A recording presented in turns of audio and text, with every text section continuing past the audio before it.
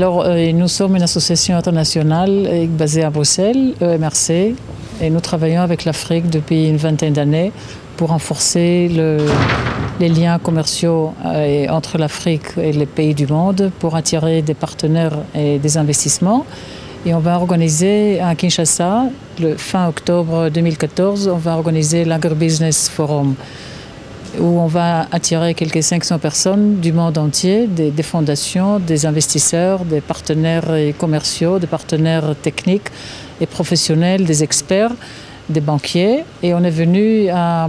Donc on a eu des, réunions importantes à Kinshasa au niveau national. On est venu au Katanga pour voir les gouverneurs et pour, pour attirer l'attention particulière de, de cette province sur le sujet agricole, le développement agricole.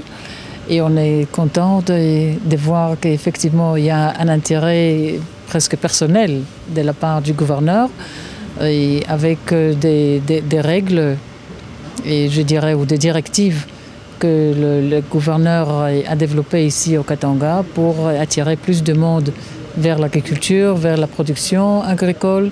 On a entendu que la production du maïs, du blé a quadruplé, quintuplé ici dans, dans la province depuis quelques années.